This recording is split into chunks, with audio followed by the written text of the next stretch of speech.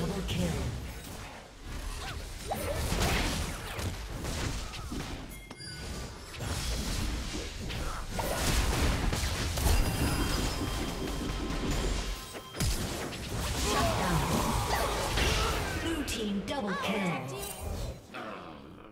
Would it help if I apologized?